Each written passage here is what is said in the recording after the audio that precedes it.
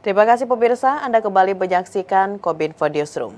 Pemirsa penurunan kualitas sungai secara langsung berdampak pada kesehatan makhluk hidup dan lingkungan.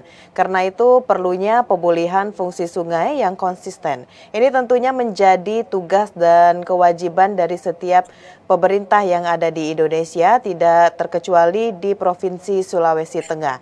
Dan pemirsa untuk mengetahui sejauh ini seperti apa uh, Sulawesi Tengah dalam mengelola sungai, kita akan bahas bersama. Saat ini kita sudah bersama dengan Bapak Andi Ruli Janggola selaku Kepala Dinas Cipta Karya dan Sumber Daya Air Provinsi Sulawesi Tengah. Assalamualaikum, selamat malam Pak Ruli.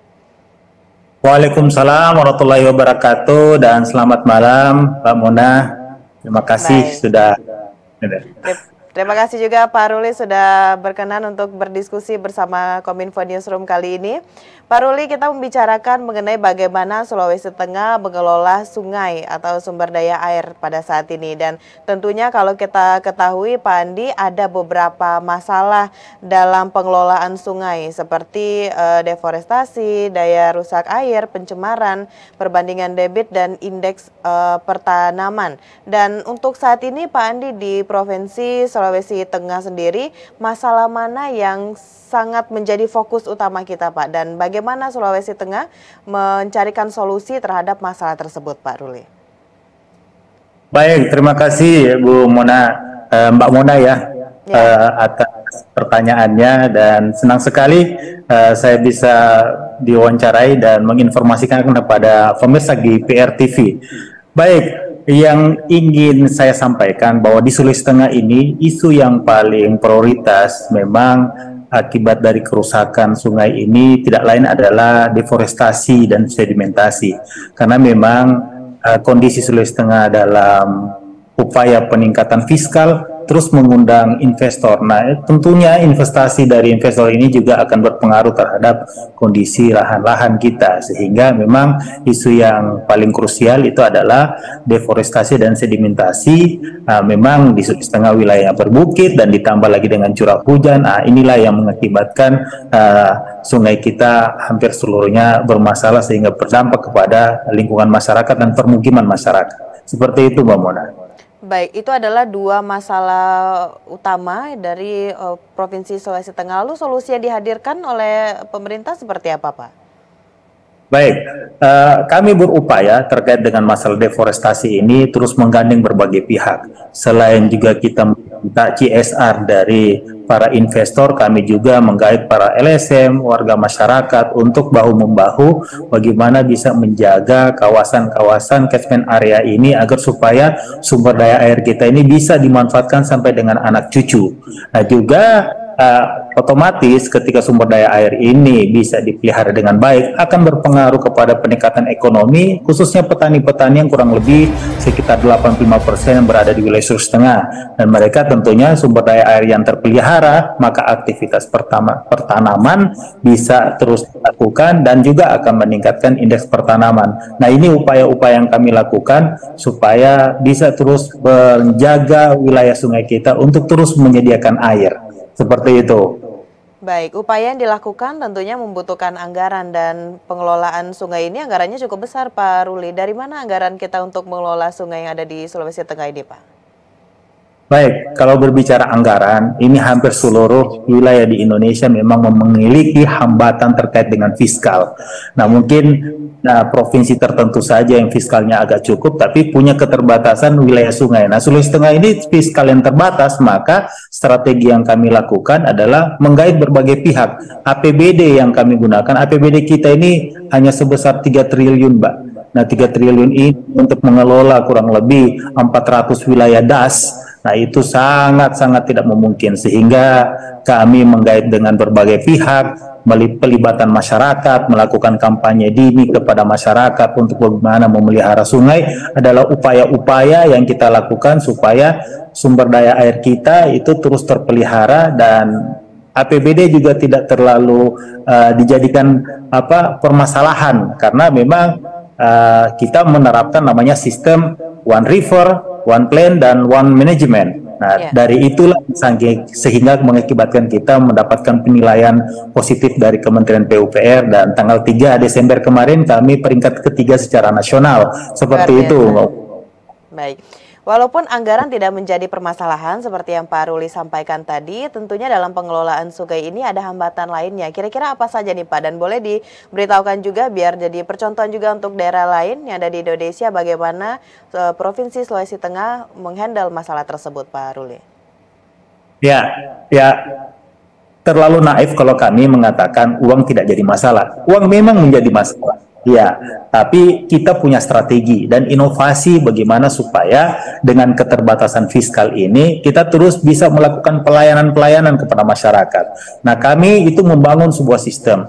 Ada sistem-sistem misalnya sistem SIH3, sistem yang bagaimana memonitoring hidrologi kita, hidrometeorologi kita, hidroklimatologi kita yang tujuannya supaya informasi ini tersebar luaskan lintas kementerian uh, lintas lembaga dan organisasi masyarakat sehingga ada dukungan-dukungan yang bisa dilakukan dalam rangka mengatasi hambatan yang kita miliki tadi keterbatasan dengan uh, fiskal. Nah, selain itu juga kami memang karena keterbatasan fiskal sarana prasarana ini sangat terbatas penggunaan alat berat. Nah, ketika banjir ini kan berdampak kepada rumah masyarakat. Nah, kami itu alat-alat berat ini itu sangat terbatas. Namun dengan sosialisasi kampanye publik yang kita lakukan kepada masyarakat untuk jangan tinggal di bantaran sungai, untuk terus menjaga uh, ekosistem di wilayah sungai. Nah, inilah upaya-upaya kita supaya ketika terjadi banjir,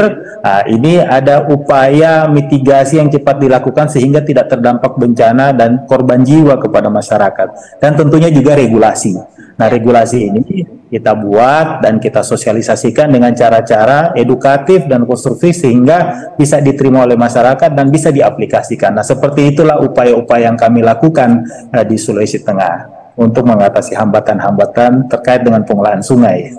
Baik, oh. itu adalah upaya yang kita lakukan selama ini dan tentunya Pak Ruli, uh, sinergi berbagai pihak juga sangat penting dalam hal ini. Lalu sejauh, sejauh ini bagaimana uh, peran Pemda sendiri untuk uh, menyukseskan pengelolaan sungai yang ada di Provinsi Sulawesi Tengah, Pak Ruli? Baik, terima kasih Bu Uh, peran-peran Pemda ini yang pasti kita melibatkan seluruh stakeholder Ya. Karena keterlibatan stakeholder ini adalah kunci penting bagaimana bisa mensukseskan kita bisa memelihara sumber daya air. Ingat ya, biasanya kata pepatah, negara yang bisa mengelola air dengan baik itu adalah negara yang menuju kemakmuran. Nah ini yang kita upayakan dengan melibatkan semua pihak melakukan kampanye dini. Sejak dini melalui program-program ketika hari air ada tanggal 3 Maret itu hari hari air dunia. Nah kita melibatkan anak SD, anak SMP, anak SMA bagaimana supaya bisa memelihara sumber-sumber daya air ini melalui kegiatan-kegiatan edukasi. Bikin lomba gambar bagaimana bisa memelihara sumber daya air, memelihara lingkungan. Nah ini upaya-upaya kita yang kita lakukan agar supaya program-program pemerintah bisa dilakukan dengan pelibatan semua pihak. Seperti itulah yang kami upayakan dan kita lakukan di Sulawesi Tengah. Baik, selain per, uh, peran Pemda, tadi Pak Ruli juga menyampaikan ada partisipasi juga dari anak-anak sekolah. Ada lagi Pak pihak lain yang juga kita libatkan untuk pengelolaan uh, sumber daya sungai ini yang ada di Sulawesi Tengah. Contoh konkret kegiatan lainnya seperti apa Pak? Baik, uh, contoh konkret biasanya kami melakukan kegiatan penghijauan. Nah, kegiatan penghijauan ini sendiri biasanya setelah pelaksanaan kegiatan uh, kampanye publik melalui masyarakat, nah kami melibatkan NGO melalui program dinas kehutanan maupun dinas-dinas terkait uh, melakukan kegiatan untuk penghijauan di kawasan-kawasan yang ter, terindikasi dan ada koordinatnya itu mengalami pengundulan dan apa sedimentasi tinggi. Nah, ini yang kami upayakan dengan uh, membuat rekomendasi-rekomendasi sehingga uh, melalui peran Bapeda sebagai perencana makro itu mendeliver kepada OPD-OPD terkait yang memiliki tugas dan fungsinya dan melibatkan NGO serta investor yang berada di kawasan-kawasan sungai untuk pelibatan uh, CSR-nya uh, sehingga uh, program-program inilah yang kami sinergikan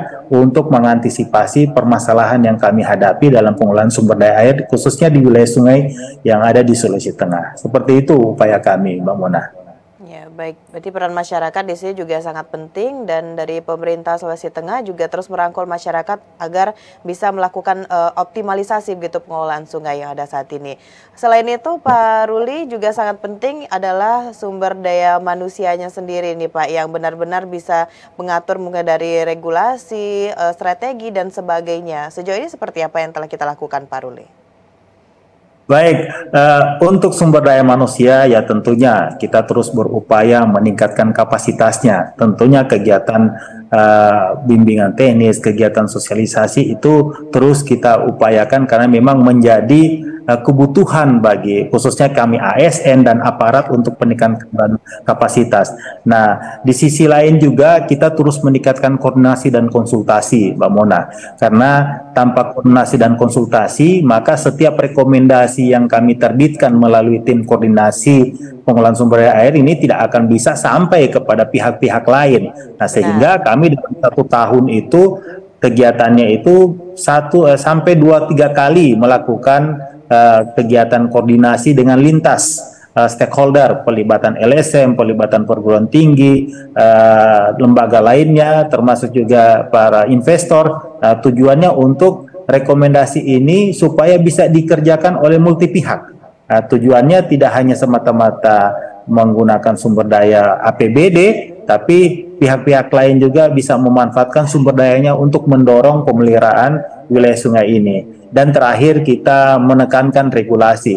Regulasi ini penting khususnya di sisi uh, punishment dan reward. Nah, ketika ada investasi masuk tapi tidak bisa memelihara wilayah sungai, maka kita akan melakukan uh, pengawasan ketat dan kami meminta langsung bahwa sumber-sumber CSR-nya itu tidak perlu lagi disetorkan ke APBD, tapi langsung melakukan aksi nyata dengan pelibatan yeah. dan rekomendasi program yang kita inginkan. Seperti itu, Mbak Mona.